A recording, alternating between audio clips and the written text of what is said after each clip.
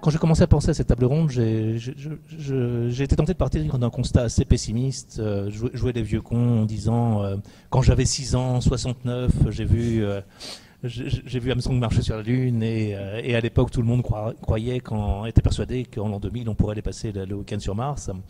Et puis, on nous a volé Mars. Et puis, puis d'année en année ou décennie en décennie, la, conquête spatiale est devenue de moins en moins de moins en moins passionnante. Et j'étais euh, tenté de lancer le débat sur euh, qu'est devenu euh, que sont devenus nos rêves et je dois dire que j'étais assez surpris cette, cette semaine de découvrir pour la première fois depuis très longtemps qu'il y avait une, vraie initiative excitante vu qu'il y avait des, Américains qui lançaient, pour l'instant c'est au stade du projet, mais qui, qui parlaient de lancer, lancer des, des micro-drones vers, Proxima du Centaure. C'est la, première fois depuis très longtemps que j'entendais parler d'un projet véritablement ambitieux. Et du coup, je ne sais plus si, on part sur une, table ronde euh, optimiste ou pessimiste. Donc, je suis tenté de vous demander quel, est votre rapport à vous. J'imagine que, vu les sourires, il y a beaucoup de, passionnés d'espace et d'optimistes. Euh, Cédric, tu veux Oui. Euh, il marche? Oui. Donc, effectivement, euh, concernant, bah, restons déjà un peu plus près dans notre relativement proche banlieue concernant l'exploration de Mars. C'est vrai que on a des raisons d'être relativement optimistes malgré tout. Les choses, depuis euh, les premiers pas de Neil Armstrong et depuis les, six hommes qui ont marché sur la Lune entre 69 et 72, c'est vrai qu'il s'est passé beaucoup de temps. Mais il faut voir aussi un petit peu euh, tous les détours qui ont été pris depuis, tout, ce qui a été réalisé depuis, euh, notamment par la NASA et aussi par l'Agence spatiale européenne et les autres agences spatiales. Donc finalement, depuis tout ce temps, on n'a pas tant perdu de temps que ça, mais c'est vrai qu'on a l'impression d'avoir un peu, euh, d'avoir un petit peu traîné parce que l'homme n'a toujours pas dépassé euh, l'orbite lunaire. Mais d'un autre côté, euh, notre connaissance du système solaire s'est considérablement améliorée, nos connaissances astrophysiques également depuis, mais surtout la connaissance du système solaire, en particulier de Mars. On en est à un point aujourd'hui, on a tellement bien cartographié Mars avec Mars Reconnaissance Observer, orbiteur ou ce genre de choses que pratiquement on a des cartes de Mars qui sont euh, plus précises que celles de la Terre. Donc c'est vrai que on se dit bon bah l'homme sur Mars demain pourquoi pas? Donc tout à l'heure j'ai fait une petite causerie sur le sur le sujet et on s'aperçoit qu'en fait techniquement il y a encore un ou deux écueils à passer mais on pourra vraisemblablement arriver à les passer mais le problème il est surtout politique en fait. Après Mars, c'est la planète qui ressemble le plus à la Terre et sur laquelle on a le plus, on aurait le plus de facilité à s'installer, mais c'est pas pour autant que ça serait très facile non plus. Donc, euh, ce qui est raisonnable, c'est d'imaginer qu'on verra probablement le premier homme sur Mars vers 2035 à peu près. Est-ce que Mars en partant, c'est pas déjà ce qu'on disait il y a 20 ans? Oui, oui, je sais. On a ça donne un peu cette impression-là. Mais il y a quand même des, étapes qui ont été franchies dans la connaissance de Mars et aussi dans euh, la technologie, les rovers qu'on a été capable d'emmener là-haut. Par exemple, Curiosity qui est depuis août 2012 euh, là-haut, c'est vraiment un bijou de technologie euh, et d'avoir réussi à poser sur Mars sans encombre quelque chose qui fait une tonne et sans avoir abîmé le matériel scientifique, c'est quand même technologiquement un exploit. Ça prouve qu'on a déjà une relative maîtrise des choses. Mais envoyer un rover inhabité qui fait une tonne en gros et envoyer un module avec des humains dedans avec le module il ferait 30 tonnes, c'est pas tout à fait le même facteur d'échelle et quand vous voulez faire atterrir ça sur une planète, euh, même si c'est Mars, même s'il y a une atmosphère, ben c'est beaucoup plus compliqué. Il suffit pas, comme je l'expliquais tout à l'heure, d'appliquer un facteur d'échelle et ça, c'est l'un des gros problèmes qui n'est toujours pas réglé. On finira par le régler, je sais pas comment, mais là, je, pour le coup, je suis optimiste. Je fais partie des optimistes. Oui?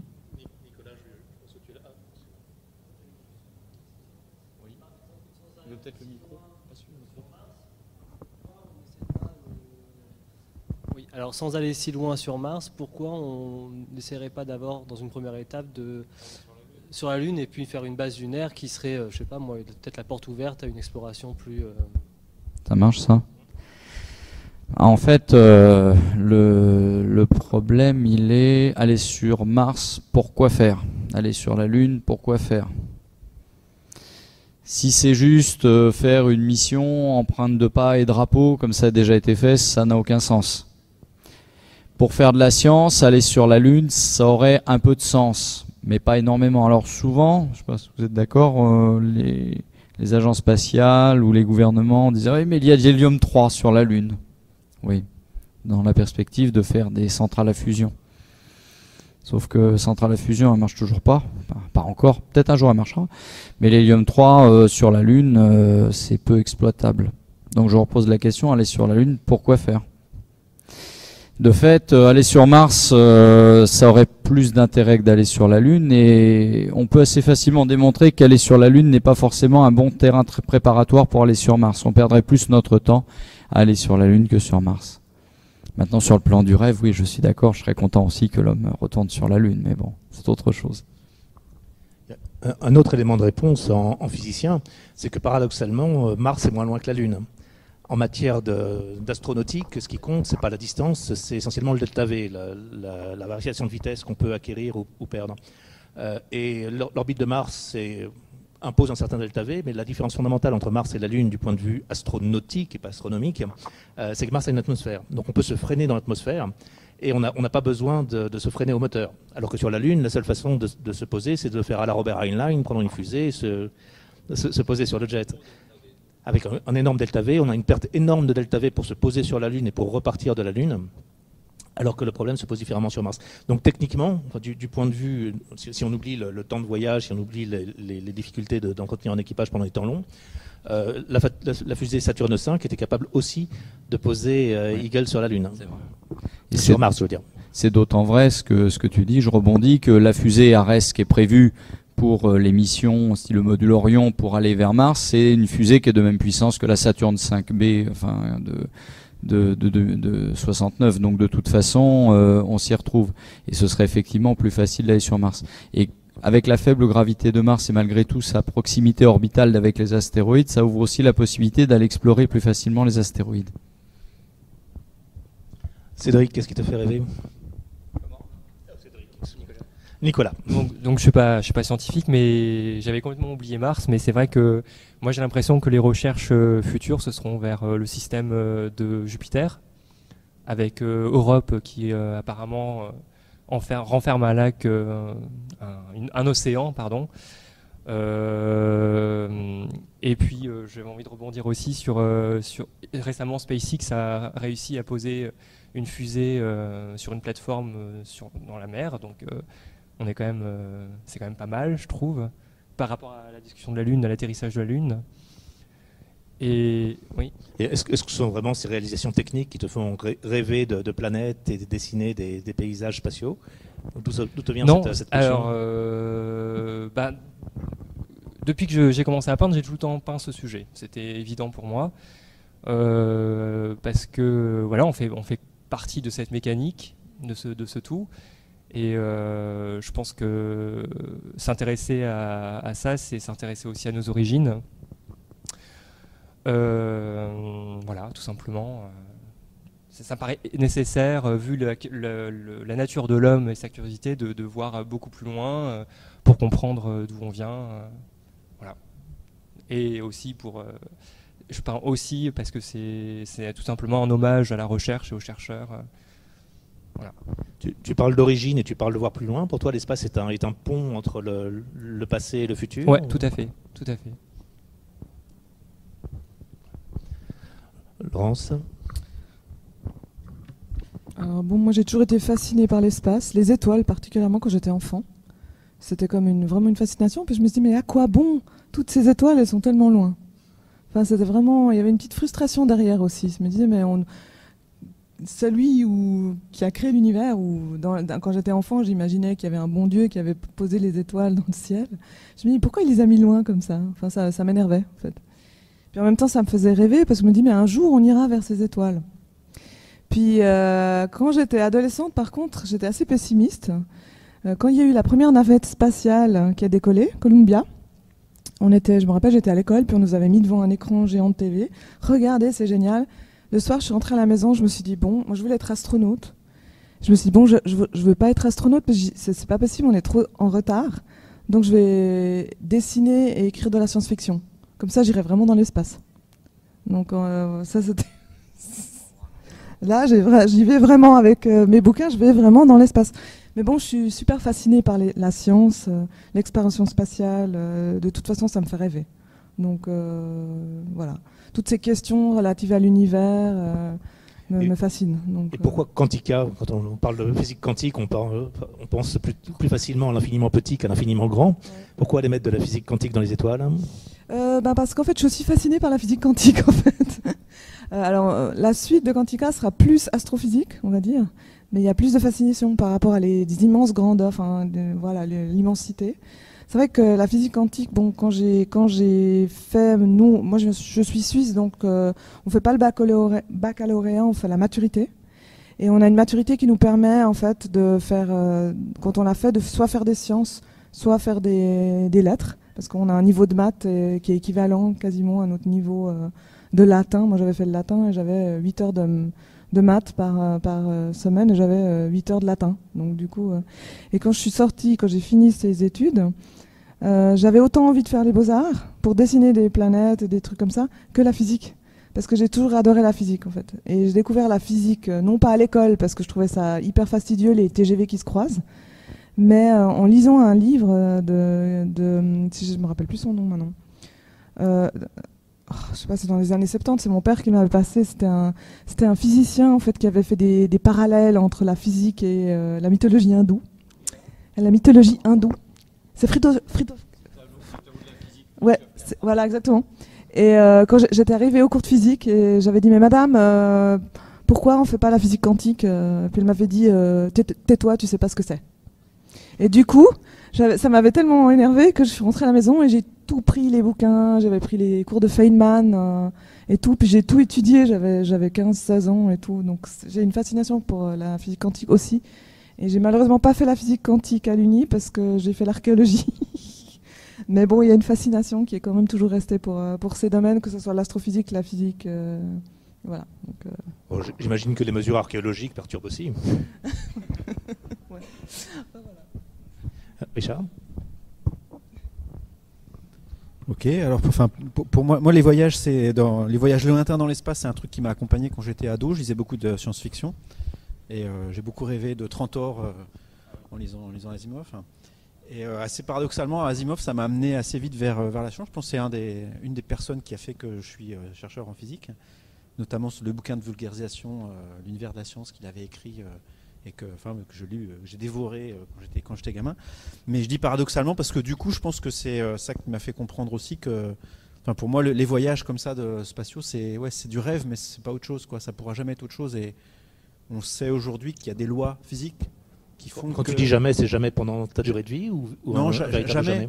Enfin, jamais. Enfin, ça veut rien dire jamais, mais sachant que l'étoile la plus proche est à 4, à 4 années-lumière que la galaxie fait euh, quelques dizaines de milliers d'années-lumière de côté. Euh, donc voilà, il faut les échelles de temps pour voyager, c'est euh, sauf si on espère aller à une, vitesse, proche de la lumière, mais c'est la dizaine d'années, quoi, c'est la décennie. Et alors, je vais dire, jamais à quelques siècles d'horizon, on va dire, voilà, d'ici quelques siècles, je pense que c'est complètement illusoire de se dire qu'on ira vers les. C'est la décennie, ça dépend un petit peu du référentiel. Dans, le référentiel du voyageur, ça peut être beaucoup plus court. Effectivement, la relativité nous sauve parce que pour les gens qui sont dans le, qui sont dans les vaisseaux, ça pourra prendre moins de temps, mais enfin, ça dépend encore une fois pourquoi on veut voyager, pourquoi on veut aller là-bas. Si c'est aller là-bas pour ramener de l'information, ça c'est mal barré. C'est ça le mot technique. C'est mal barré. voilà.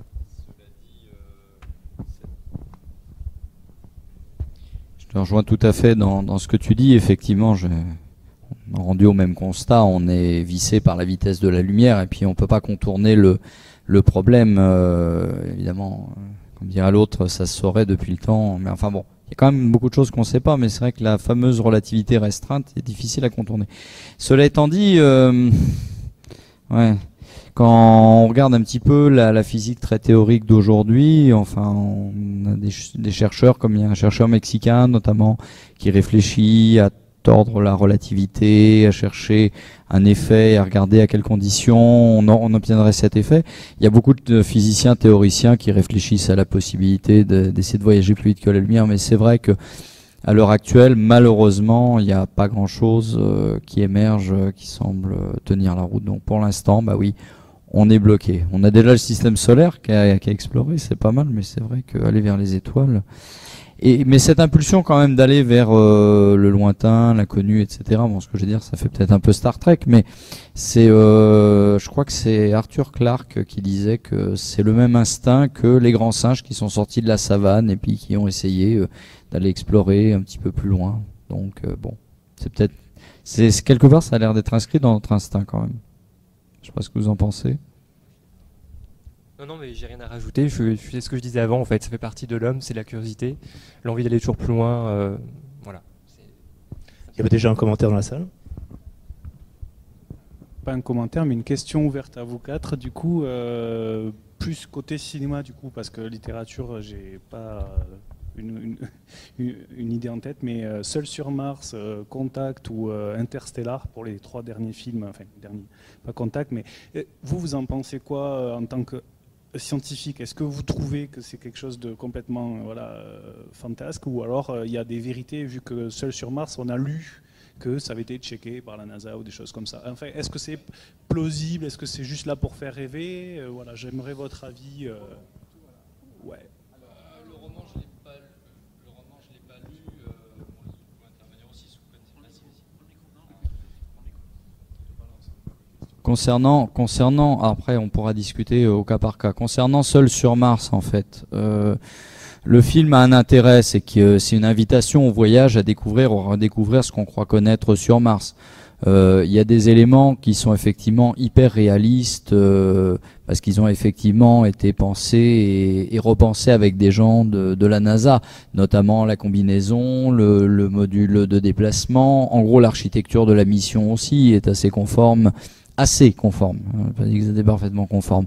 Mais après le reste, il y a eu beaucoup de libertés qui ont été prises. euh, bon, et puis rien que les éléments euh, qui permettent de faire basculer la situation de, de Matt Damon sur Mars. L'histoire qu'il y a une tempête de, de, de excusez-moi. L'histoire qu'il y a une tempête de sable absolument euh, monstrueuse qui balaye tout, ça c'est pas possible physiquement si vous voulez sur Mars. Donc moi je suis très content que ce film ait été fait, même si je sais bien que c'est le défaut quand je vais voir ce genre de film, je sais bien qu'il y a toujours le ressort. Je vais pas pouvoir m'empêcher en voyant le film de démonter le truc. en disant, ça ça va pas, ça ça va pas, ça va pas. Particulièrement sur Interstellar d'ailleurs. Dans Seul sur Mars, bah, j'ai choisi le parti d'être un bon public pour passer un bon moment aussi et voyager parce qu'on voit de, beaux paysages, euh, s'ils sont pas tout à fait conformes là non plus à, à ce qu'on voit sur Mars.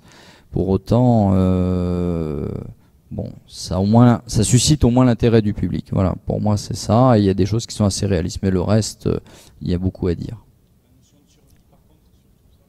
Alors la notion de survie, oui, elle est, elle est tout à fait au centre du, de la problématique des, des futurs colons sur Mars. L'autarcie, essentiellement, euh, qu'on essaye de développer, qu'on a approché sur Terre avec la... Enfin, c'était un peu utopique, mais ça a quand même donné des réponses intéressantes. C'est Biosphère 2, par exemple, euh, qui a été développé en Arizona. C'est tout ce qui est développé dans les euh, ce qu'on appelle les bases flashline en, en Arctique et dans le désert de l'Utah par euh, la Mars Society. C'est aussi euh, toutes les stations qui sont faites dans le domaine polaire, par exemple, la Concordia ou la base Vostok ou la base américaine à- en Antarctique.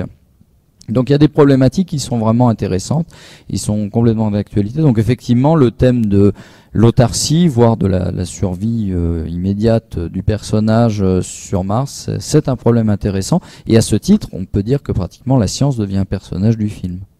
C'est ce que tu disais tout à l'heure. euh, si on y va, pourquoi et si, surtout, est-ce qu'on peut y survivre quoi? Et voilà, c'est ça. Et Mars, c'est celle qui offre le maximum de, de survie. Voilà, une, une possibilité. Les autres, c'est marrant Oui. Alors je suis pas du tout d'accord. je vais dire pourquoi. Non, sur le, tu, tu as comparé un petit peu euh, Seul sur Mars et Interstellar en laissant sous-entendre que tu avais des, des- des réserves sur le deuxième. Alors euh, moi je suis vraiment un fan absolu du film euh, Interstellar hein, et euh, je trouve que ce film on- il a une qualité énorme.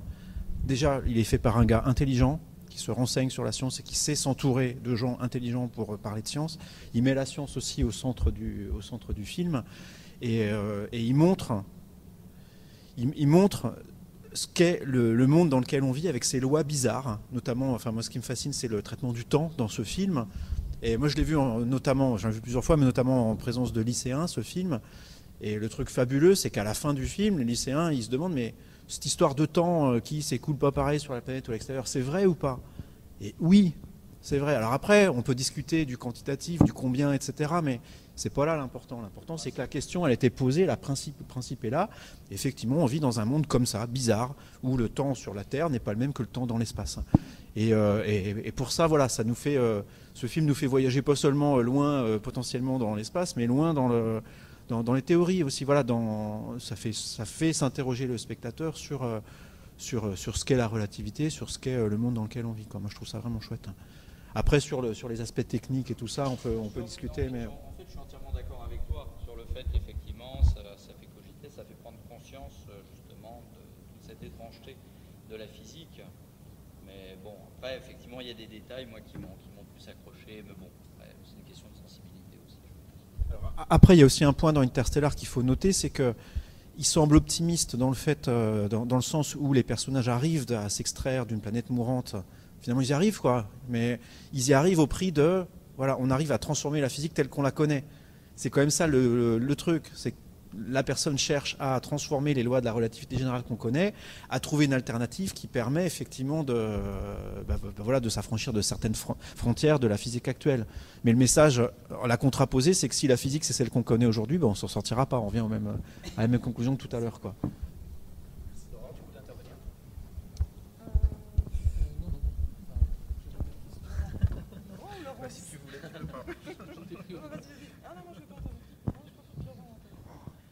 Bah alors c'est moi qui vais te poser la question en tant qu'écrivain. Quelle est la, marge euh, que tu t'autorises pour, jouer, pour abuser de la science, pour pouvoir lancer une histoire typiquement se- doter Mars d'une atmosphère suffisante pour, pour déclencher une tempête, pour lancer le film, ça te paraît un procédé euh, inévitable, naturel, ou c'est une, vaste tricherie de la part de l'auteur de Seul sur Mars? Euh, moi perso, euh, mon, mon- moi je l'aurais pas fait, par exemple. Dans mon, mais, encore une fois, il n'y a pas de, y a pas de règle. Après, on met le, on met le curseur de réalisme où on veut. Euh, on peut le descendre jusqu'à Star Wars ou le, ou le monter jusqu'à 2001, mais il y a plein de degrés entre. Euh, voilà, c'est un des degrés. euh, voilà, seul sur Mars, c'est plutôt haut, hein, mais, mais voilà, c'est pas jusqu'à, jusqu'à. maintenant. Est-ce que ça a besoin? Moi, je dis que c'est dommage parce qu'il y avait des moyens de faire, de, le faire sans justement, sans avoir euh, besoin de violer les lois euh, et ce qu'on connaît. Il y avait moyen. Et dans le roman, justement, euh, il y a plein de choses super qui n'ont pas été explo- exploitées. C'est dommage.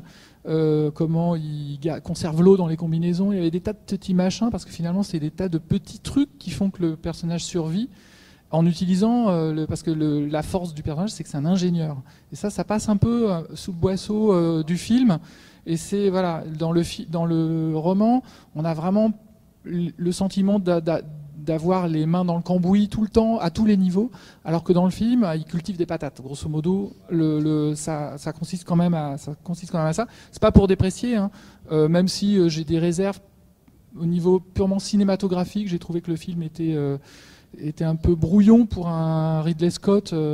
Même au niveau image, j'ai pas trouvé que c'était son au niveau euh, que j'avais l'habitude de voir chez lui, au niveau de la, qualité d'image. Mais voilà, c'est des là c'est un autre débat, on va dire. Maintenant, oui, oui, sur le sur le sur le sur le contenu, euh, moi ce que ce que mon appréhension de, par rapport à l'espace, euh, moi, ce qui m'a fait aimer l'espace dans la, dans la SF, c'est un, roman comme, euh, comme La Schismatrice de Bruce Sterling, où pour la première fois, c'est un, bouquin qui était une succession, c'est un fix-up de nouvelles, quatre euh, nouvelles qui correspondent à quatre euh, périodes du- d'un personnage qui vit 200 ans à peu près, et qui est représentant d'une des deux factions de l'humanité qui ont essaimé dans, l'orbite terrestre et puis dans les, dans les proches planètes. Mais voilà, c'est deux peuples orbitaux, deux rameaux de, l'humanité qui ont, euh, qui ont euh, essaimé. Et déjà, je trouvais que ça, justement, ça répondait d'une manière au, à pourquoi aller dans l'espace. Et là, on avait deux possibilités de, de, pourquoi Deux possibilités philosophiques de, sur le devenir de l'homme dans l'espace et, et quelque chose de, de, bah, très fort sur lequel on peut, on peut axer sa vie entière. C'est peut-être aussi ce qui, euh, ce pourquoi on, s'interroge aujourd'hui. Pourquoi aller euh, sur Mars? Pourquoi Voilà, c'est pas forcément. ça peut être quelque chose de plus profond même que d'aller récupérer des cailloux ou de, ça, peut être incarner une, un, devenir de l'homme en fait. Et puis, euh, et, et, pourquoi pas faire quelque chose qui soit pas une religion, mais, mais quelque chose qui soit une, un, idéal, un vrai idéal euh, humaniste ou post-humaniste, euh, je sais pas, de, je sais pas, propager la vie, acquérir de la connaissance comme, comme quelque chose qui soit éthique, enfin quelque chose voilà, qui relève de quelque chose de, de haut, quoi. De, voilà. Et moi, le, et autre chose moi qui, euh, qui m'avait euh, énormément, enfin qui m'avait fait basculer dans, le, dans la schismatrice, c'est euh, que j'avais pas forcément retrouvé dans, dans, la science, dans la conquête spatiale telle qu'elle était médiatisée, c'est le côté quotidien de l'espace. Et ça, moi, je trouve que ça a quelque chose d'absolument fascinant de d'interroger par exemple un, un, cosmonaute ou un astronaute sur comment il vit dans l'espace, comment et l'idée de, de, de, de vivre dans l'espace, mais, vivre, mais pas vivre six mois, vivre 40 euh, ans dans l'espace, euh, le, ou un siècle. Le, roman La schismatrice, c'était le premier bouquin, j'avais trouvé, qui, illustrait des gens vivant, euh, et de façon réaliste, relativement réaliste, de vivant des décennies dans l'espace. Et ça, moi, ça m'avait absolument fasciné. Il y, avait, un sense of wonder mais lié au réalisme même du, sujet. Donc on n'était pas dans des vaisseaux d'un kilomètre, euh, d'un kilomètre de long. Là, vraiment, ce qui faisait la, force et le, truc qui explosait l'esprit, c'était le quotidien de ces hommes et ça passait par euh, des, personnes qui se sont euh, altérées morphologiquement pour, et, à un moment, il y a un personnage qui voit passer un homme qui qui balaie l'espace un peu comme une grenouille, euh, qui, pulse l'air derrière lui. C'est des petites images comme ça, et on se dit waouh, euh, voilà, on se dit euh, l'effet waouh, il était des fois dans les dans des, dans des choses du quotidien qu'a pas forcément su médiatiser les voilà les les, les missions de la NASA justement. c'est un peu brouillon ce que j'ai dit, je suis désolé. S'il n'y a pas d'autres interventions sur ce thème, je propose d'avancer un tout petit peu. J'aimerais revenir sur une remarque de, Richard tout à l'heure. Tu nous as dit qu'on n'irait jamais dans l'espace lointain. Et euh, tu, es un, tu es un spécialiste d'objets euh, qu'on ne trouve que très très loin de, chez nous. Pourquoi t'être spécialisé comme ça dans l'étude d'objets que tu ne pourras jamais aller voir? Euh, bah la, réponse, ça va sûrement être décevante, mais en fait, on choisit pas forcément son sujet de recherche quand on fait de la science. Non, mais c'est vrai, c'est une suite de hasard. Moi, j'ai fait de, la physique euh, théorique. Je me suis retrouvé dans un labo de physique théorique avec quelqu'un qui était astrophysicien dans ce labo, qui s'intéressait au problème de la matière noire, du coup. Donc, euh, j'ai fait ma thèse là-dessus. Voilà, une opportunité s'est ouverte de thèse à, un endroit donné avec une personne donnée, ça m'a plu, je l'ai fait. Et euh, du coup, j'ai continué dans ce labo avec cette personne sur ce sujet-là mais j'ai jamais eu devant moi tout un panel de choix de sujets sur lesquels j'aurais voulu travailler. Et je me suis dit, waouh, c'est ça, je veux faire ça. Après, le sujet sur lequel je travaille m'intéresse et tout. Et avec le, je pense que si maintenant j'avais ce choix euh, de panel, de sujets, etc., je pense pas que ça serait ça que je choisirais, non. Je pense qu'il y a d'autres choses qui m'intéressent euh, même davantage que, que, que, l'astrophysique, en fait. L'astrophysique, c'est chouette, mais voilà les choses liées à la physique quantique, euh, les, nanotechnologies, euh, plein de trucs. Euh, peut-être parce que je les connais moins aussi, mais qui excitent plus ma curiosité que mon domaine vraiment de, recherche. Vu, de l'extérieur, il y a une fascination pour les, les, hautes énergies, pour les, pour les monstres gravitationnels. Ce sont des objets totalement atypiques. Laurent parlait de Sans Fondeur. On en prend plein les yeux quand on en prend la tête. Mais c'est intéressant comme question. C'est une idée fausse de se dire les gens qui font de l'astrophysique, ils sont passionnés d'astronomie. En fait, ça n'a rien à voir du tout. Quoi, c'est pas le même métier. Moi, je regarde jamais le ciel. Et euh, honnêtement, euh, si j'ai l'occasion de regarder dans un télescope et puis voir euh, Jupiter en gros, je suis content. Je trouve ça chouette. Mais je vais pas passer une nuit à me peler pour pour regarder une galaxie. Non, mais c'est le cas, quoi. Voilà. Ça me fascine pas en tant que, si tu veux, c'est la différence entre la cartographie et puis la, et puis la géologie, je pense. euh, voilà. Au bout d'un moment, regarder le ciel ou savoir qu'il y a tel objet là dans le ciel. Souvent, quand je discute avec des gens et je dis que je fais de l'astrophysique, on me dit Waouh, t'as vu, on a découvert une nouvelle planète. Avant-hier, j'ai vu dans le journal, on a découvert une nouvelle planète. Bah, ok, super. Il y en avait 559, maintenant il y en a 560. Voilà. Moi, c'est pas ça qui me, fait euh, vibrer, quoi. Dans l'astrophysique, moi, ce qui me plaît, c'est les mécanismes. C'est la physique, justement, l'aspect euh, comprendre, tiens, pourquoi cet objet on le voit, comment, qu'est-ce qui nous dévoile des mécanismes du monde dans lequel on vit, quoi. Après, je, je crache pas du tout sur l'astronomie, mais c'est pas ce qui moi me fait, euh, me fait complètement vibrer. Et euh, je connais pas mal de collègues astrophysiciens pour lesquels c'est le, c'est le cas aussi, quoi.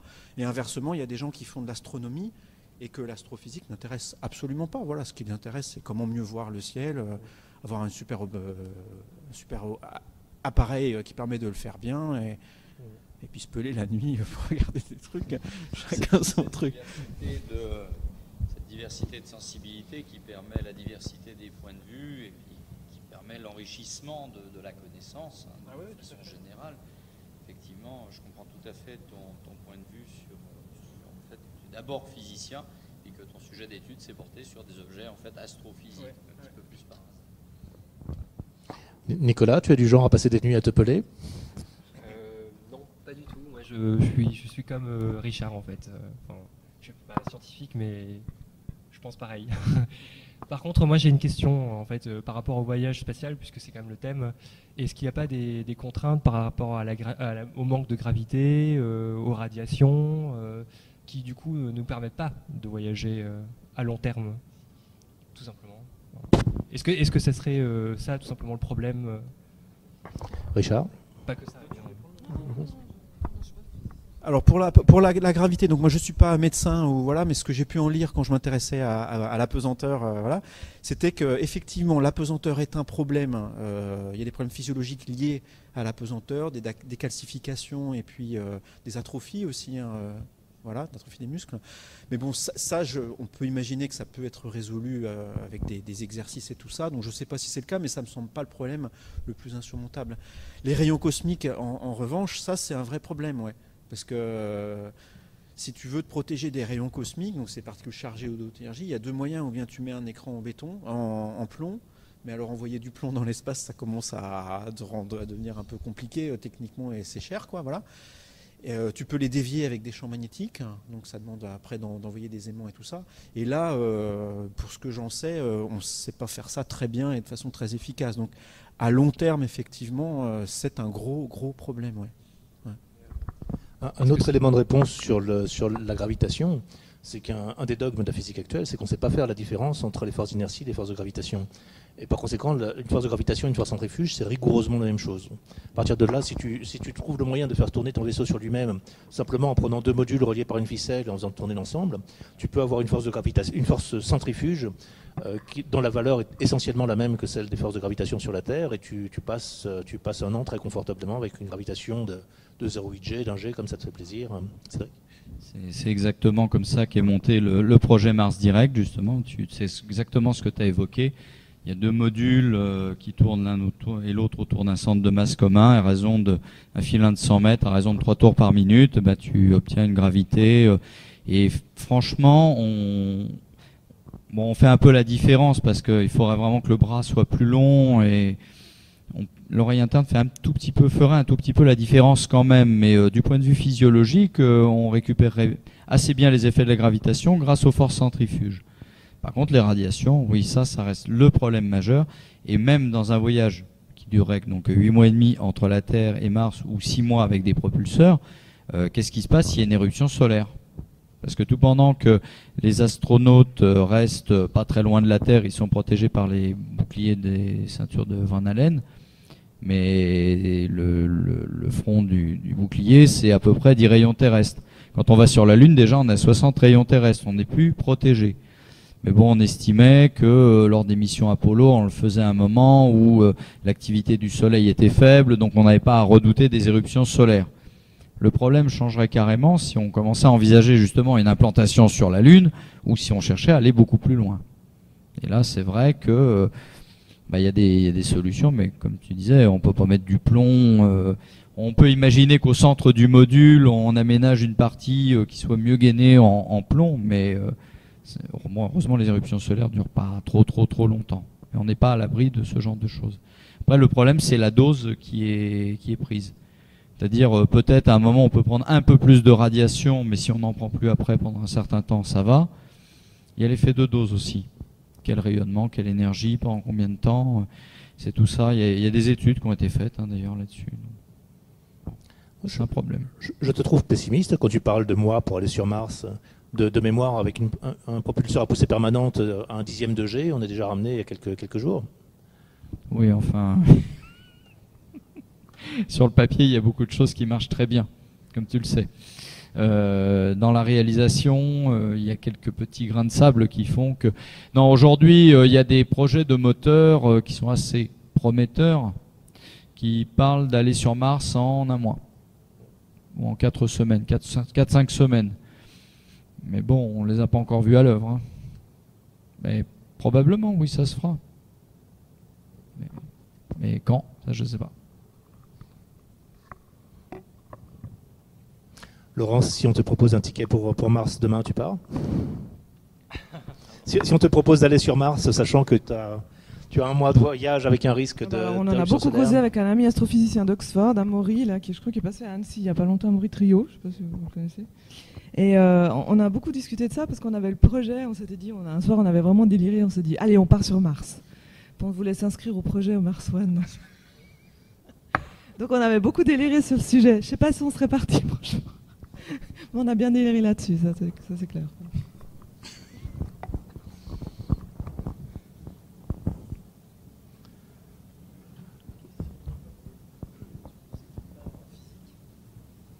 Euh, c'est plus d'ordre psychologique parce qu'on entend souvent qu'un des problèmes majeurs aussi, enfin secondaire du coup, je sais pas majeur ou pas, c'est l'entente de l'équipage et sur le long terme dans des, en comment on appelle ça, en situation euh, extrême, isolée.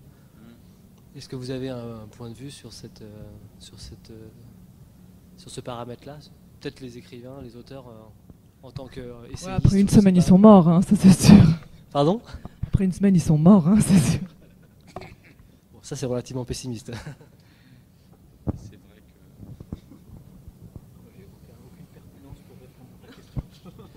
le, facteur, le facteur humain, en fait, on peut le jauger dans les stations du style Antarctique et tout ça. On sait par exemple que s'il y a un mauvais cuisinier, ça se passe mal.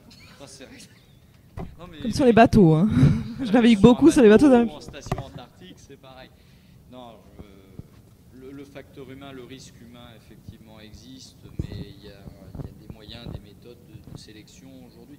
Par exemple, c'est bien expliqué dans. Euh, dans le début du livre de science-fiction Mars la Rouge, c'est un astrophysicien qui donc l'a écrit, il a temps pour étudier Mars, étudier la question, et il explique effectivement comment ça se passerait. La présélection se ferait d'abord dans une station euh, en Antarctique où on retiendrait plus qu'un petit nombre de gens euh, qui du coup s'entendraient bien. Mais le risque zéro en la matière n'existe pas non plus. Enfin, on ne peut pas dire qu'il y a zéro risque si on met euh, même quatre personnes si, on s'en tient aux, effets psychologiques, il faut se souvenir que dans l'histoire de l'humanité, on a eu des, aventures bien plus violentes. Quand on s'entasse à 70 dans une caravelle à la, Christophe Colomb pour, des mois de voyage sans savoir si on aura assez de, de, pour aller à l'autre bout, ce sont des, situations qui étaient euh, beaucoup, plus, dures, beaucoup plus dures, beaucoup plus éprouvantes que ce qu'on peut préparer. Oui, là on, parle de projets à des, dizaines de milliards de dollars sur lesquels on ne va pas lésiner sur la qualité euh, ni, des aliments, on ne va pas faire d'économie sur quoi que ce soit. Je pense que les, premiers, euh, premiers astronautes seront, les premiers voyageurs vers Mars seront probablement euh, chouchoutés.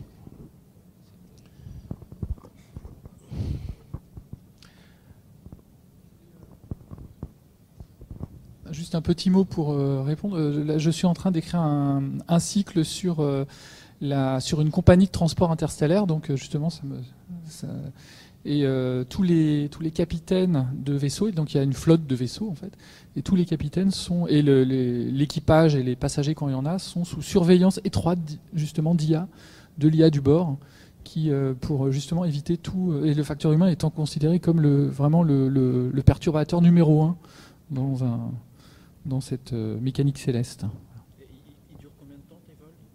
Pas beaucoup, euh, quelques, euh, ça va de quelques euh, semaines à quelques mois. En fait, c'est pas, c'est pas. Oui, voilà, c'est ça.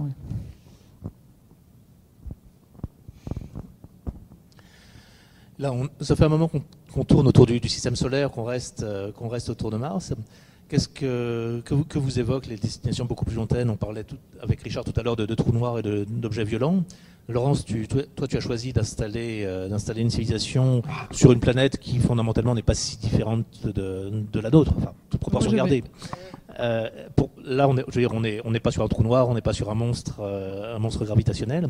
Quel est l'intérêt pour toi d'aller euh, d'aller aussi loin et de- de- d'extraire tes- les aventures que tu racontes de, de l'environnement qui nous est plus ou moins familier? Moi j'avais imaginé un monde qui se trouve qui n'existe pas puisque c'est à 6,5 années-lumière. C'était un peu un clone de Proxima du Centaure, on va dire. Mais je voulais pas utiliser euh, ni Alpha ni Proxima du Centaure parce que je trouvais s'ils trouvent des planètes, ça va être la merde parce que ça va pas correspondre à mes planètes. Enfin, je me suis dit j'ai prévu le coup. Donc j'ai imaginé un système euh, qui soit similaire. Et l'intérêt c'était qu'en fait il y a une planète en glaciation globale mais qui avait une atmosphère donc qui avait eu en fait euh, une vie. euh, lié à la photosynthèse. Enfin, il y a eu toute une, enfin, c'est tout expliqué dans le livre, etc. Et en fait, la, donc qui reste une, at- une atmosphère respirable. Mais par contre, la, planète était en glaciation globale depuis quelques, millén- quelques millénaires. Et du coup, mes colons se sont retrouvés, euh, voilà, à voyager. euh, bon, ils voyagent longtemps hein, pour aller là-bas, parce qu'il n'y a pas de, on, voilà, on, vo- on voyage euh, à un pourcentage de vitesse de la lumière, mais bon, voilà. Et, et, voilà, bon, ils sont là-bas, mais une fois arrivés là-bas, effectivement, ils découvrent qu'il y a des autres personnes, on va dire, les ont précédés et ont laissé en orbite effectivement euh, des vestiges, enfin des, un artefact. Et c'est là qu'on repart en fait sur des. Alors, dans la deuxième partie du cycle, on part vraiment vers des destinations qui sont pas comparables à celles euh, évoquées dans le livre au départ, quoi. Mais bon, moi, je suis fascinée par les étoiles lointaines, donc du coup, comme je disais quand j'étais enfant, euh, j'étais très, c'est c'est horripilant cette idée. C'était vraiment, j'essayais de les compter, ça m'énervait. Et euh, du coup, euh, forcément, je vais quand même mettre dans mes livres, euh, voilà, trouver des moyens de les atteindre ces étoiles, mais peut-être pas des, mo- des moyens du tout que nous humains pouvons imaginer maintenant, quoi. Parce que en fait, mes humains dans, ma trilogie, hein, ils vont jusqu'à cette planète, cette exoplanète. hein. C'est une exoplanète glacée autour d'une étoile binaire. Et, mais en fait, euh, ils vont pas plus loin. En fait, c'est vraiment le, flambeau de l'humanité. Ils ils vont pas plus loin. Mais par contre, on va beaucoup plus loin. euh, voilà, après. Ta fascination est proportionnelle à la, à la distance. C'est-à-dire Après les, euh, Ouais, dans mon cas, oui, on va dire. Oui, en fait, je, sais pas, je suis fascinée par les étoiles, ouais. Mm. Euh, être sous un soleil lointain, ouais. Un soleil blanc ou, ou jaune ou orange ou peu importe, ou bleu, je sais pas. Mais un soleil pour- lointain, ouais, différent. pourquoi pas demain dans une galaxie lointaine ou dans un super amas Ça, voisin c'est vraiment la science-fiction. Ça, Bon, c'est maintenant, euh, c'est vrai que pour mes humains, j'ai essayé de, de- quand même, j'ai bossé avec une astrophysicienne, on essaie d'imaginer comment on pouvait les faire voyager. C'était pas le but du bouquin non plus, donc ils étaient déjà là-bas, on les voit pas voyager, mais on sait qu'ils ont voyagé longtemps. Enfin, il y a une colonie qui se crée en fait. La colonie a déjà 150 ans au moment où l'hi- l'histoire débute. Euh, mais bon, ils, ont, ils sont arrivés là, ils ont déjà, au, préalable, ils ont essayé de terraformer Mars, ils n'ont pas réussi. Et là, ils se retrouvent sur une planète en fait qui a une atmosphère, donc, euh, mais par contre des conditions climatiques qui sont pas cool. hein. Donc du coup, euh, c'est un peu une ambiance vase clos, base antarctique, conditions difficiles. on se bouffe, on est dans une base, ils sont tous cloîtrés, il y a des tensions. Enfin, c'est un peu ça le schéma, on va dire comportemental. Et ils sont confrontés à quelque chose qu'ils ne comprennent pas du tout. Donc du coup, effectivement, euh, il y a des horreurs qui commencent à se mettre en place voilà, qui ne sont pas forcément dus aux humains. Enfin, il y a une influence, il y a, il y a le côté très science-fictif quand même dans ce bouquin. hein. Mais disons que j'essaie de m'appuyer de choses euh, sur des choses réalistes. Je travaille avec des astrophysiciens, on discute, etc. Puis après, bon, ben voilà, on décolle, quoi. Mais euh, parce que bon, j'ai Bon. le droit quand même, je suis auteur. Oh, tu, as, hein, tu as tous les droits. Pour- Pourquoi était-il important que ce soit des humains? Pardon Pourquoi était-il important que ce soit des humains, Parce que je quitte à voulais, aller le très loin je voulais le contraste entre l'humanité et cette autre civilisation. C'était ça qui était intéressant, c'est-à-dire qu'il y a cette autre civilisation qui, qui fonctionne complètement différemment.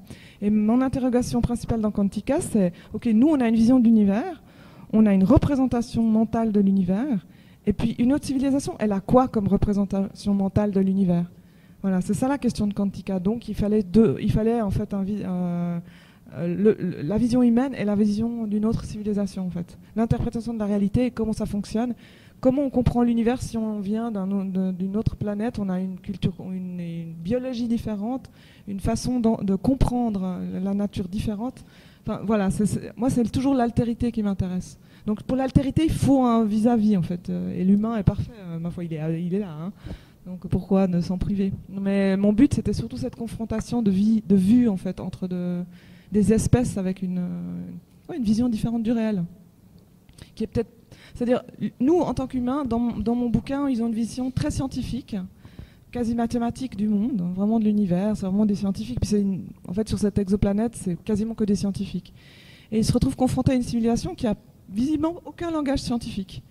Et donc, comment est-ce qu'ils comprennent l'univers? Est-ce qu'on est, est-ce que, est-ce qu'ils sont, alors à un moment donné, mon erreur se demande, mais est-ce qu'ils ont une la vraie vision de l'univers Ils ont compris, ou est-ce qu'ils sont aussi dans leur propre représentation du monde? Puis c'est ça en fait qui m'intéresse. C'est qu'effectivement, on est toujours dans une représentation, mais qui n'est pas celle de l'humain. Donc du coup, ça me fascine. Est-ce que ça signifie que si on continue le- l'exploration de l'univers comme on est en train de, la commencer par des, petits robots, par des, objets non humains, pour le coup ça t'intéressera beaucoup moins, faute de cette confrontation entre les, les points de vue Est-ce que tu te passionneras autant pour une- la, la conquête de l'espace par des, par des Moi, robots, ça par me- des ça humains me fascine. L'espace m'a toujours fasciné, effectivement. Euh, je suis les progrès de l'exploration. Euh, là, j'ai donné des cours sur les, les systèmes de propulsion, pourtant je suis pas astrophysicienne, etc. Ça m'intéresse beaucoup, ouais. ça m'a toujours intéressé. Et euh, j'étais très frustrée enfant en me disant, bon, ben, je crois que je vais être écrivain parce que, bon, euh, je serai pas astronaute, c'est vraiment dommage, mais bon, j'ai tellement envie d'aller dans l'espace, donc...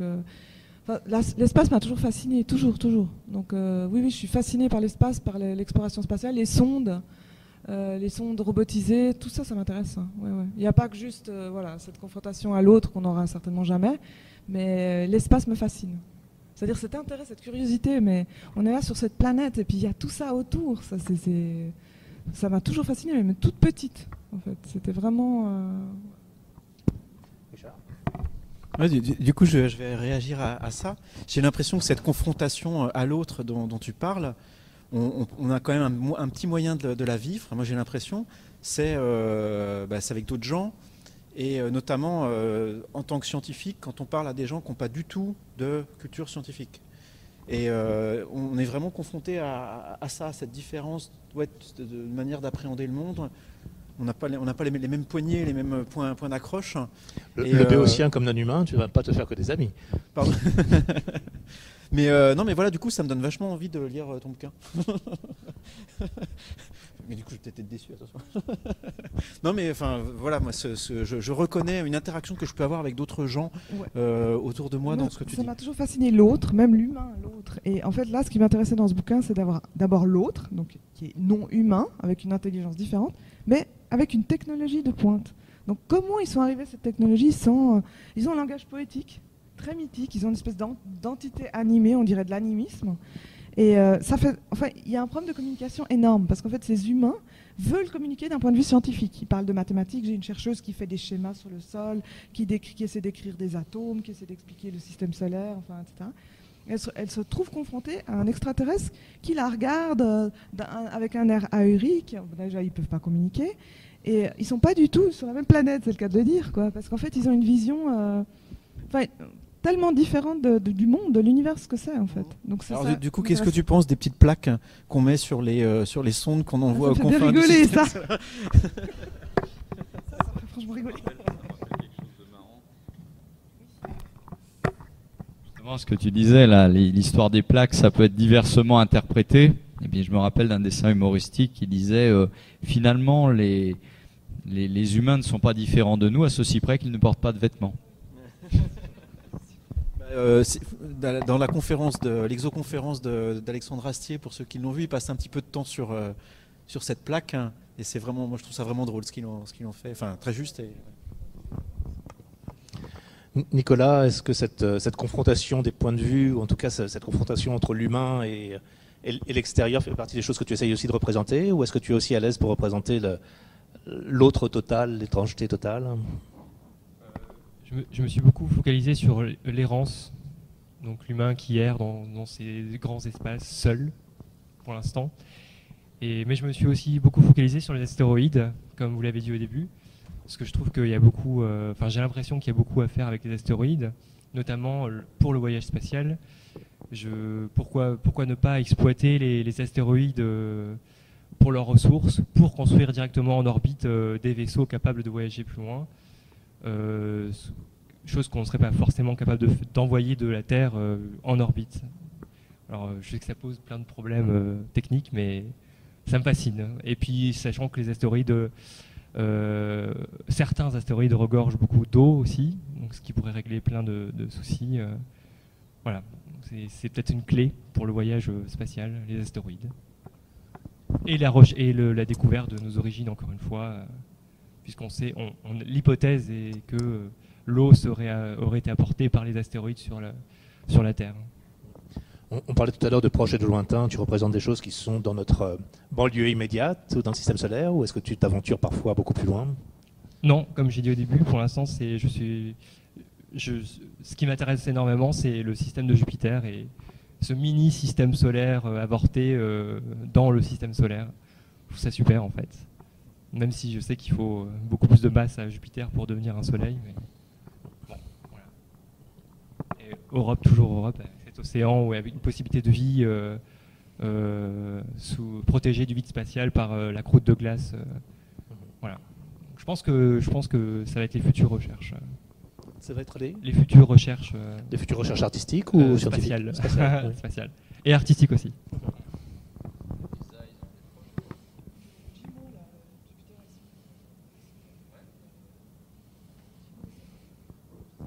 Parle plutôt dans le micro. Avec Elisa Cliquet, elle nous avait parlé de ce vaisseau, en fait, euh, la propulsion nucléaire, pour Jupiter Icy Moon, la Project, je sais pas, JMO, c'est ça C'était un vaisseau en forme. J'avais parlé à mes élèves, justement, parce qu'on avait eu un cours sur les propulsions du futur. C'était des, ouais, c'est des, avec beaucoup de, de, radiateurs pour éliminer la chaleur du réacteur, etc. Qui a cette pointe comme ça. On avait bien déliré dessus avec mes enfants, là, parce que mes enfants, mais c'est mes élèves, en fait. Bah, il était abandonné ce projet, je crois, le, projet de. effectivement, je, crois me souvenir. Je ne voudrais pas vous dire de bêtises, je crois que c'est l'agence spatiale européenne travaille effectivement sur un bon, sur euh, une meilleure connaissance de l'environnement de Jupiter, ça c'est bien entendu, et de ses lunes. Mais c'est vrai que Europe focalise beaucoup l'attention puisque d'après la forme de, la surface d'Europe, euh, on a bien compris qu'il devait y avoir effectivement de l'eau liquide en, dessous. Et on imagine effectivement un système qui permettrait de fondre la glace euh, en dessous de lui pour euh, mettre un petit sous-marin. Bon, ça, fait sourire aujourd'hui, ça semble vraiment futuriste, ça fait un peu très, très Jules Vernien comme système, mais pourquoi pas effectivement. Je comprends que ça te fasse rêver, je trouve que c'est c'est beau. C'est vrai que. C'est dommage, ils ont abandonné le projet. Ils ont abandonné le projet. Enfin, ce vaisseau là, c'était intéressant. Justement, c'était une sonde. Hein. et c'était une sonde, hein, mais euh, ouais, je crois qu'ils ont. Je sais plus quand ils ont abandonné, mais il y a pas longtemps. Je crois en 2000. Je sais plus quand c'était. Je sais pas si ça a été abandonné. Oui, ça a été abandonné. En général, quand un projet est abandonné, il est mis dans un coin et puis il peut ressurgir plus tard. Hein. Il faut pas. Heureusement. Il y avait une très jolie nouvelle de Serge Lehmann euh, sur la, la terraformation d'Europe et euh, on s'apercevait qu'en fait le réchauffement climatique était lié au fait d'une erreur technocratique de, l'agence qui, mettait ça en place et qui terraformait euh, l'Europe avec les plans de terraformation d'Europe. Cédric, tu rencontres beaucoup de, jeunes.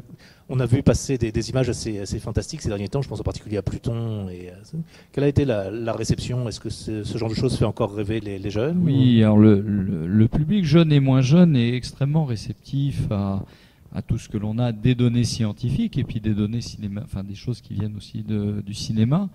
Donc on est vraiment dans une civilisation de l'image où ça compte vraiment énormément pour eux. Ils veulent, mes jeunes en particulier, veulent de suite des explications et bah, la classe de troisième qui est venue à la conférence tout à l'heure, c'est les premiers à venir me poser des questions quand ils ont vu une info et je trouve que c'est très très positif. Je trouve que c'est vraiment quelque chose. Je me reconnais aussi en eux puisque j'étais exactement pareil petit. Je me souviens très bien que même un petit peu plus vieux, j'allais rentrer en première S quand euh, Voyager 2 est passé à côté de, Neptune et c'est vrai que non seulement voir les clichés, entendre les commentaires d'André Braic, ça a été quelque chose de tout à fait extraordinaire pour moi. Et je pense que ça peut contribuer vraiment à, à animer la flamme chez nos jeunes. Ça peut, ça peut ouvrir à tout un tas de questions. Elles sont très intéressantes, mais je le constate. On- les jeunes continuent, et, et jeunes et moins jeunes, continuent d'être intéressés. Et quelle est la, tu, tu parles d'éveiller, euh, d'éveiller la curiosité, mais est-ce que ça éveille aussi des vocations? Est-ce que quelle est la, proportion de ces jeunes qui, comme toi, deviennent astrophysiciens ensuite euh, Ou, Bah, ou alors, le en fait, deviendront Il y a, oui, il y a quand même parmi les jeunes euh, qui effectivement chez lesquels il y a une, vraie vocation qui naît. bon, alors après, euh, le jeune il évolue au, au fil du temps, mais il y en a, j'en ai connu quelques-uns que j'ai eu l'occasion de rencontrer au début de leurs études supérieures, avec lesquels j'ai eu de beaux échanges et qui ont fini par faire de l'astrophysique, par faire une thèse, voire par essayer de faire un postdoc, enfin ce genre de choses. Oui, c'est arrivé effectivement. Je pense que c'est très bon d'ailleurs. Après, on peut faire de la recherche et puis euh, circonstanciellement faire autre chose parce que euh, les chemins de la vie vont pas tout droit ou bon, ça, malheureusement ça arrive. Mais ça reste une bonne école. Richard, je suis tenté de te poser la, la même question à propos de la, des, des idées abstraites et de la théorie. Est-ce qu'on peut susciter la curiosité facilement? J'allais justement réagir. euh, je pense effectivement les, les belles images qu'on a, ça peut servir à, à susciter la curiosité. Mais il y a aussi un, un danger, je trouve, un risque.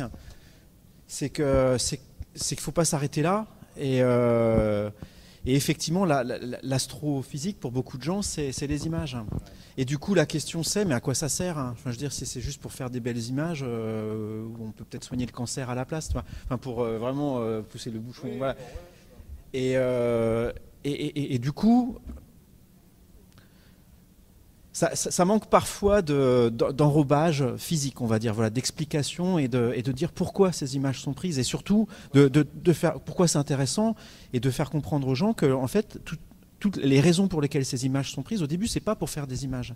Les images très souvent c'est des sous-produits d'autres trucs. Les gens qui font de l'astrophysique et de l'astronomie euh, professionnelle, leur métier c'est pas de faire des images, c'est de prendre des données de, récolter des données euh, physiques. Ensuite, euh, effectivement, ça coûte pas grand-chose d'en faire des belles images et c'est très chouette et voilà, mais c'est pas non plus le but. Et, ça, je suis pas sûr que beaucoup de gens en fait euh, ont conscience de, vraiment ce que c'est que la science, la science astrophysique finalement. Nos jeunes, quand ils continuent d'évoluer justement dans la bonne direction, je parle pour ma paroisse, hein, mes élèves, les, voilà les quelques-uns qui effectivement que j'ai pu continuer à suivre, effectivement assez rapidement, il a fallu, c'est normal, c'est très bien d'ailleurs mettre du sens et voir plus loin et voir euh, ce qui est invisible sur l'image finalement, sur les images. Mais effectivement, euh, il faut essayer de leur donner le goût d'aller voir plus loin et par eux-mêmes. Alors, Il y, a- ça, mais, mais du coup, il y a aussi le, le- le danger, même quand on communique avec des, euh, avec des gens qui font de la communication scientifique, genre les, les journaux et tout ça, si tu n'as pas d'image, tu dis rien en fait. Premier truc qu'on te demande, c'est OK, c'est intéressant votre truc, avec quoi on illustre? Moi, je travaille sur la matière noire. C'est le truc, on le voit pas. Non, mais par définition, il n'y a pas d'image. Parce que justement, on la cherche, on aimerait bien la voir. Et du coup, c'est, mais c'est un vrai problème. hein. C'est un vrai problème après de communication scientifique avec le grand public pour justifier les recherches qu'on est en train de, en train de faire. Je voulais faire une remarque sur euh, ce qui vient d'être dit.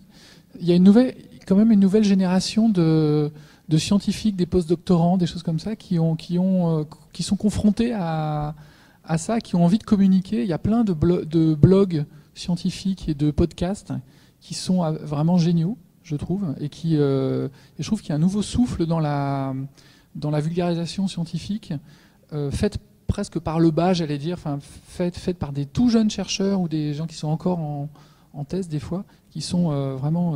bah, y a, par exemple, il y a un podcast suisse qui est très très bien, qui s'appelle Podcast Science, qui est un, podcast franco-suisse, suisse à l'origine, et puis euh, euh, l'équipe a tourné. Et c'est euh, et justement, c'est des gens qui se sont qui se sont dit d'abord, ils, ont grandi dans un dans un dans, la, dans le fait qu'ils se sont dit que la, la, la sécularisation du monde était terminée, qu'il y avait un retour du religieux et d'un certain obscurantisme, et qu'il fallait réagir à ça notamment avec les, réseaux sociaux et la, pensée complotiste d'une manière générale, hein, la pensée complotiste, c'est-à-dire pas forcément sur euh, JFK, hein, mais d'une manière générale sur on ne croit plus ce, que disent les instances, quelles qu'elles soient, et, euh, toute valeur, enfin toute, euh, opinion a, la même valeur. Il y a une réaction à ça depuis, depuis 5, depuis, 5, moins de 10 ans en tout cas. Euh, donc ça, ça, je trouve que les, les gens réagissent même, même sans image justement. Et je trouve qu'il y a un retour du discours, Enfin, il y a un retour du, du- de la vraie vulgarisation telle qu'elle euh, telle qu'elle est faite par euh, des gens comme Braik, etc. Je trouve. Mais par toute une génération. Est-ce que c'est aussi un des rôles de la science-fiction Pour toi, certains de tes livres ne sont pas très très loin de la, la art SF Euh, non, c'est pas pédagogique. C'est pas pédagogique. Le, quand on, quand on, nous, j'allais dire, on, peuple. C'est pas. Je dirais pas que. je pense que la SF, elle a pas de rôle, mais elle a pas de rôle attribué, elle a pas de fonction. euh, On fait ce qu'on veut. Non, pas du tout. On fait ce qu'on veut. Mais en tout cas, si pour un certain nombre d'auteurs, le, on va peupler euh, bah, par exemple, euh, vous disiez ah, les, les- les nouvelles planètes qu'on découvre, c'est jamais qu'une planète en plus. Bah, en fait, moi, de l'extérieur, je le vis pas du tout comme ça. C'est marrant. Moi, j'ai une petite appli sur mon, sur mon smartphone et quand il y en a une, j'ai une, une notification et puis euh, je vais regarder. Et euh, pour moi, c'est euh, pour moi, c'est l'occasion d'une nouvelle histoire en fait. Et la SF, c'est ça d'une certaine manière. C'est aller peupler les, autres astres d'histoire, donc d'humains d'ailleurs, enfin humains ou extraterrestres, mais je veux dire de, de, de, conscience. Et voilà, la SF, elle va faire des histoires avec, euh, avec la science. Ou, enfin, encore, une fois, enfin, euh, j'aime pas faire des généralisations. Une certaine SF euh, et, et, les autres SF sont tout aussi légitimes. Je, je, je hiérarchise pas du tout. En tout cas, celle dans laquelle je- j'exerce, il y a, y a de ça. Et, euh, et- et je trouve que les, moi, je trouve que ces dernières années, il y a pour, euh, je fais vite. hein. Euh, le, le- je trouve que ce qu'a apporté la découverte des exoplanètes, moi, je trouve c'est, enfin, j'ai, je prends un pied pas possible, quoi, parce que c'est chaque la découverte des Jupiter chauds, des, des, des planètes euh, autour de systèmes binaires, on pensait que c'était pas possible. Des, des, tout à, enfin, au, au quotidien, l'image euh, qu'on avait euh, plutôt un peu pauvre quoi, de, de l'univers, c'est- tout plein de barrières tombent et tout. C'est, moi, je trouve ça génial. Quoi. C'est, mieux que de la SF à ce niveau-là. En- fait, je trouve ça. Il y, y a un aspect extrêmement triste dans ce constat, je trouve, parce que on est là sur Terre et ce- ces possibilités multiples, elles sont autour de nous et, et du coup, j'ai l'impression que de, de se dire voilà, j'ai des nouvelles planètes, donc ça m'ouvre des horizons. C'est se dire, c'est admettre que ces horizons sont fermés chez nous d'une certaine manière. Et euh, ouais, voilà, je, tr- je trouve ça légèrement, euh, légèrement triste comme, euh, comme constat. C'est Ah, pas bah, du pas tout un du tout. jugement sur la, sur la capacité à rêver. Hein.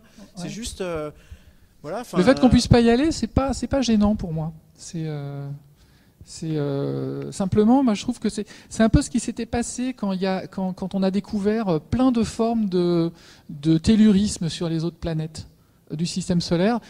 On pensait les planètes, voilà, c'était soit des boules de gaz, soit des machins rocheux, point barre. Et puis on a découvert du volcanisme à très basse température, des choses comme ça. Puis tout à coup, on, on s'est dit, l'univers est, drôlement riche, chimiquement parlant, physiquement parlant.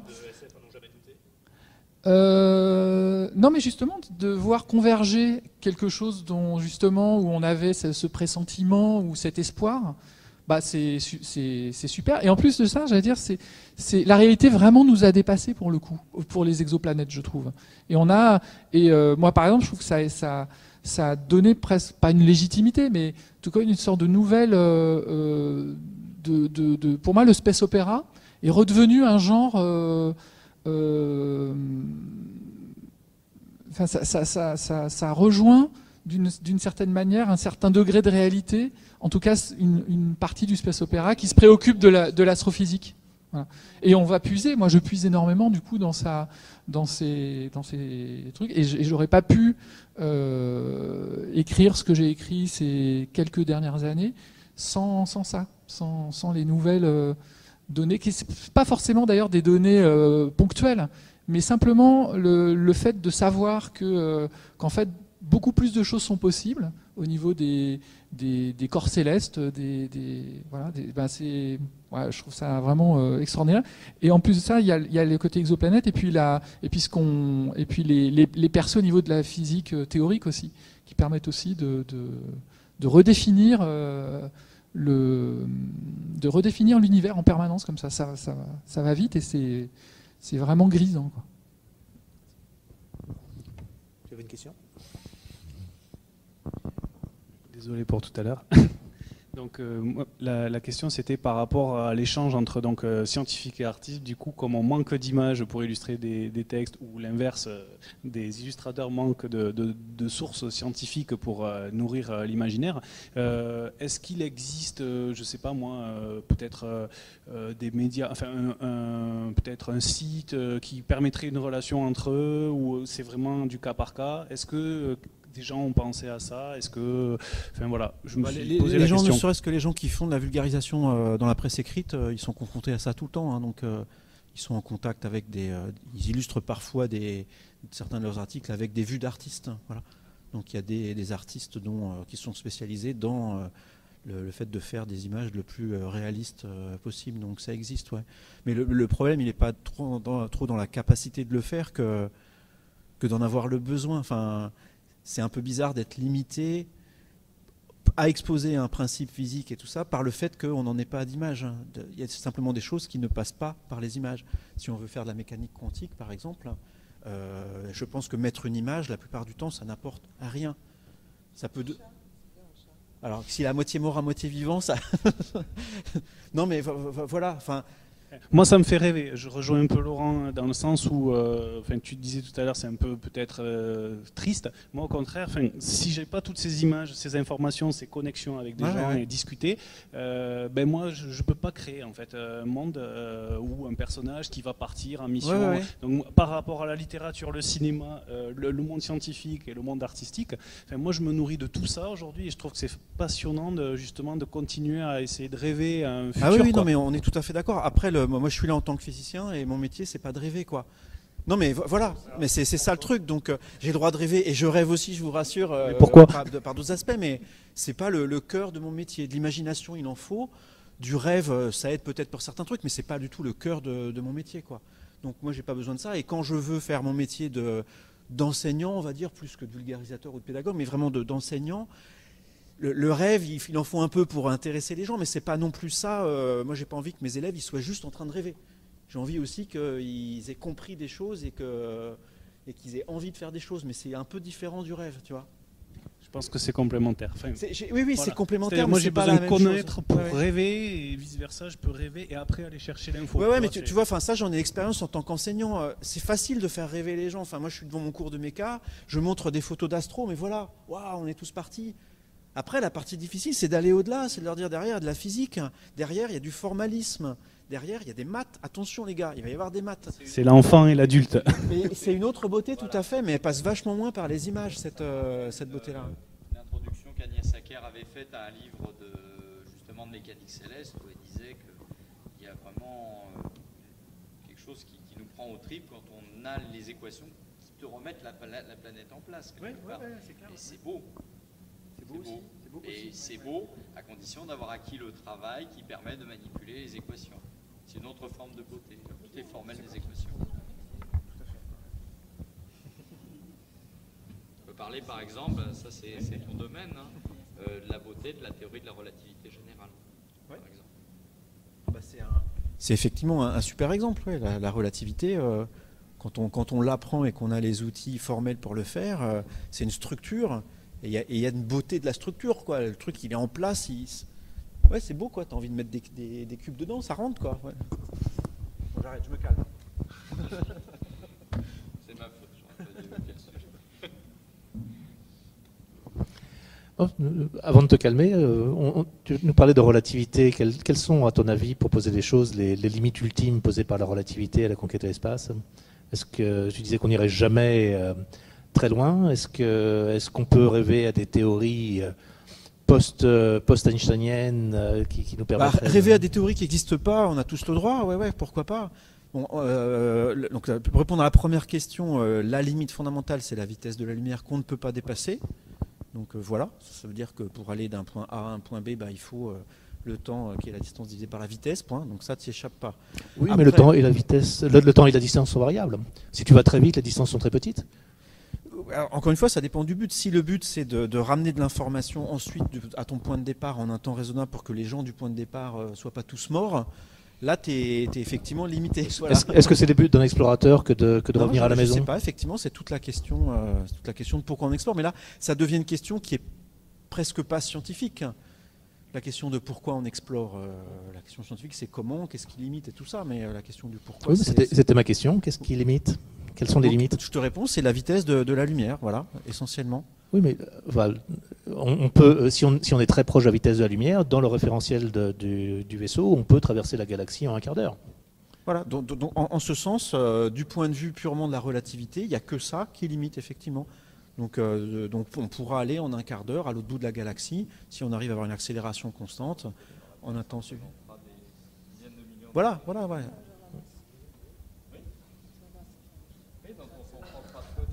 Non, là, alors là, il n'y a, pas de problème, il y a pas de problème de, de masse. La, la- la- la masse, c'est quelque chose qu'on peut très bien définir de manière intrinsèque. euh, et ça ne, du point de vue de la personne qui est dans le vaisseau en train d'être accélérée, sa masse, elle n'est pas changée. Donc il n'y a pas de, il y a pas de souci de, de- de ce point de vue-là, non. Mais euh, enfin, je sais pas. Du, du- du coup, euh, tu voulais me faire aller quelque part, j'ai l'impression. Oh non, je, je, Non, non, je, non. je sais plus qui parlait de, de trou de verre tout à l'heure, euh, mais euh, c'était c'est- c'était dans une discussion à part. Mais euh, D'accord. il y a, il y a toute, une, toute une zoologie dont on n'a pas parlé. Comme il nous reste un quart d'heure, je voulais te, Oui, oui, donc, un donc effectivement, après, il y, a- il y a des pistes pour, euh, pour contourner cet obstacle du temps. Donc celui des trous de verre qui serait faire passer, euh, passer directement d'une région de l'espace-temps à l'autre par une sorte de, raccourci, c'est des choses qui, théoriquement, sont pas complètement, complètement débiles, on va dire. C'est manière de dire que... Il y a quand même des, obstacles, notamment euh, un trou de verre, c'est euh, en gros un trou noir qu'on accole avec un trou blanc. Autant un trou noir aujourd'hui, on sait assez bien ce que c'est, on en observe autour de nous de manière indirecte, on en voit, il y en a des trous noirs, voilà, c'est quelque chose qui est, on est quasiment certain que, ça existe. Autant l'autre euh, aspect, le trou blanc, ça non, on n'en voit pas, on n'a pas trop de moyens d'en voir, on n'est même pas sûr qu'effectivement ça, existe. hein. Alors accoler les deux, n'en parlons pas. Il y a des pistes théoriques pour essayer de faire quand même des objets qui feraient communiquer des, des- des bouts d'espace-temps. C'est ce qui est fait notamment dans Inter- Interstellar. Ouais. Mais euh, là, il y a des, euh, des incertitudes théoriques qui sont, euh, qui sont énormes. Qu'est-ce que tu entends par incertitude théorique? Est-ce que- c'est. Tu disais tout à l'heure qu'on peut rêver n'importe quelle théorie? Est-ce que- est-ce qu'il y, a des- est-ce qu'il y a pour toi des, des impossibilités? Absolues et définitives Bah, Ou est-ce que vraiment tout est permis C'est tout le problème, c'est que vu, vu- qu'on sait pas. Enfin, aujourd'hui, il y a des. Alors, je, je vais reprendre les choses du juste dans l'ordre, mais rapidement. Aujourd'hui, il y a des choses. qui- il y a, euh, on, on dispose d'une théorie de la relativité générale qui marche très bien dans plein de, de domaines. On dispose de la mécanique quantique qui marche très bien dans d'autres. En fait, on les a jamais mis, mis en défaut ni l'une ni l'autre, mais on, est, on sait avec certitude que ces deux théories ne suffisent pas. Et ne Pour la bonne raison qu'on ne peut pas les mettre ensemble. On ne sait pas faire une théorie quantique qui est aussi relativiste. On ne sait pas faire. Donc dans cette mesure-là, après, moi, euh, je ne sais pas non plus, et je ne peux pas vous dire ce qui va le remplacer. Donc, mais il y a des pistes, il y a des pistes théoriques qui permettent de se mettre ces deux choses-là ensemble. Mais en tout cas, ce que ça veut dire, c'est qu'il nous manque quelque chose, on le sait. Voilà, il nous manque quelque chose aujourd'hui pour faire une théorie euh, complète euh, de tout. Quoi. Voilà. Les pistes qui semblent prometteuses, il y en a plusieurs. Il y a la théorie des cordes, notamment. Euh, il y a euh, théorie quantique à boucle aussi qui fait ces, choses-là. Ce sont des pistes qui sont explorées sérieusement par plein de gens euh, très intelligents, qui avancent euh, assez doucement parce que ce sont euh, là pour le coup des constructions qui sont extrêmement complexes, mais extrêmement complexes. À mon avis, d'ailleurs, tout ce qui est vulgarisation de ces domaines-là, euh, c'est extrêmement compliqué. Alors, je vais dire un truc dur, mais pour moi, c'est des échecs tout le temps. C'est impossible à vulgariser. C'est extrêmement, extrêmement, extrêmement complexe. Euh, bon.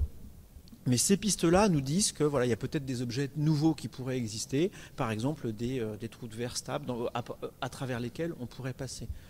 Donc il y a beaucoup de si, et moi je trouve ça assez difficile de parler, mais puisqu'on est dans le domaine du rêve, faisons-le, mais c'est assez difficile de parler euh, de prédictions théoriques, de trucs qui sont loin, loin d'être d'être finis. Quoi. Laurent, tu avais un commentaire?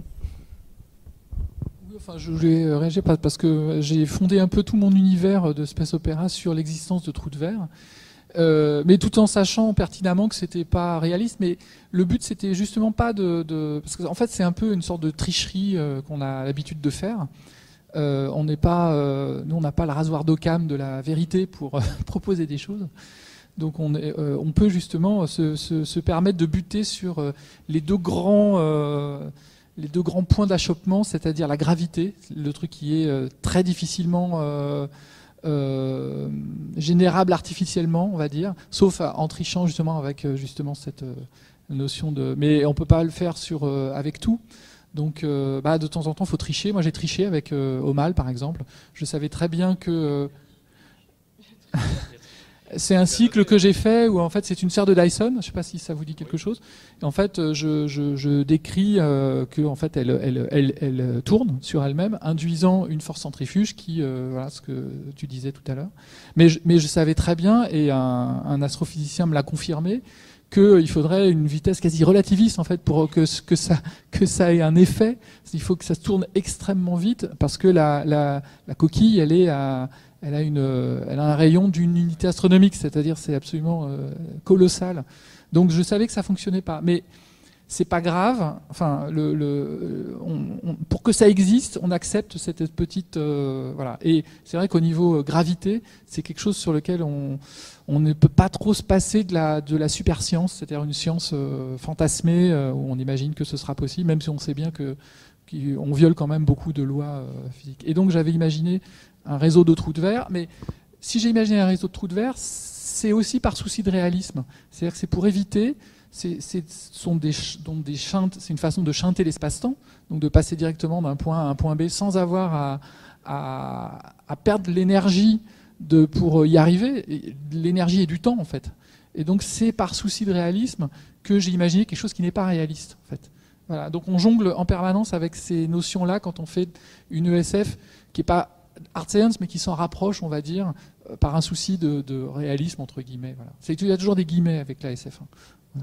Euh, et, voilà, donc j'avais imaginé un réseau de trous de verre qui était maintenu ouvert par de la matière exotique. Euh, cette matière exotique étant, ayant été créée dans des univers parallèles n'ayant pas les mêmes constantes cosmologiques pour, des, euh, pour des trucs avec des guillemets, c'est quand même assez proche de, choses que les physiciens pourraient dire en fait. Là, tu, enfin, tu triches pas vraiment. Euh, jouer avec les, les incertitudes qu'on peut avoir dans la science euh, actuelle. Enfin, moi, j'appelle pas ça de, de la bah, Ce sont des si sur des si sur des si. Donc, au bout d'un moment, moi, j'appelle ça tricher. Au, bout à partir d'un certain nombre de si, on peut se dire qu'on est quand même dans la dans la dans le procédé littéraire plus que scientifique, on va dire. Notamment sur le. Mais parce que c'est pas notre rôle de faire de la science. Pour arriver à le maintenir, il faudrait rajouter de l'énergie, euh, sombre en fait. Ça a, été, ça, a été, clairement euh, énoncé. Enfin, ça, ça fait partie de certains travaux qui ont été menés par des gens qui, s'intéressent aux trous de verre, notamment qui tournent. Euh, oui, voilà. Donc moi j'ai été chercher là-dedans et, euh, voilà. On n'est pas très loin hein, déjà. La matière sombre, c'est fait pour ça. Mais l'énergie sombre, c'est fait pour ça. Laurence? C'est la même chose. Euh, dire dans les bouquins, bien sûr, euh, l'énergie sombre, il faut bien que ça serve à quelque chose. Hein. Donc pour ouvrir, on utilise ça pour les trous de verre. La matière exotique, tout ça, c'est classique dans la science-fiction. Autant s'en servir.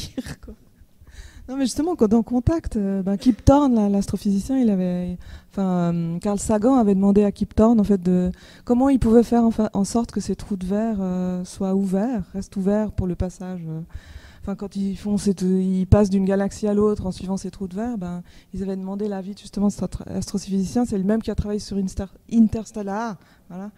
Euh, et, c'est exactement ça, ils ont tapissé l'intérieur des trous de verre de matière exotique, pour répulsive en fait, pour pas que ça se referme. Classique. Et, et comme on sait que toute technologie suffisamment avancée est indiscernable de la magie, ça roule.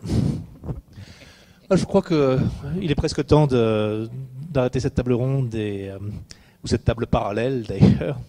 Donc je, voulais remercier bah, tout le monde, les, intervenants, le, public, presque individuellement. merci, merci à tous d'être venus et puis de, de votre bonne humeur. Et puis bonne fin de festival.